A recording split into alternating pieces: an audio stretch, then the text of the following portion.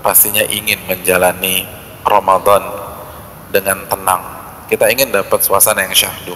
Oleh karena itu hadirin sekalian, perbanyak istighfar kepada Allah Subhanahu wa taala di hari-hari ini. Karena Allah berfirman dalam surat Hud ayat 3 dan beristighfarlah kepada Rabb kalian dan bertobatlah kepadanya. Niscaya Allah akan memberikan kenikmatan yang baik dan hidup yang nyaman buat kalian. Betapa banyak orang udah semangat ibadah, ternyata kehidupannya nggak kondusif. Mertua ngerongrong lah, atau mungkin urusan kerjaan. Perbanyak istighfar biar itu kita nggak alamin. Allah berfirman dalam surat Hud ayat 52, dan wahai kaumku, beristighfarlah kepada Allah dan bertobatlah kepadanya.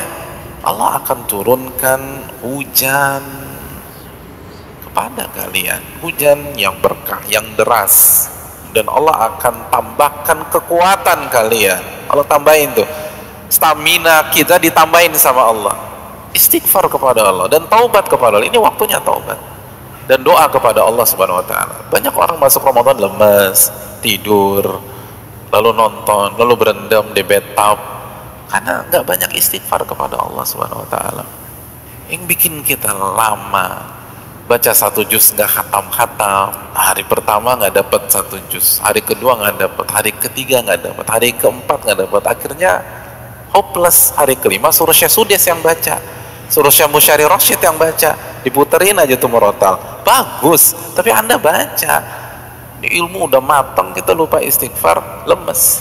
Banyak doa sama Allah. Taubat kepada Allah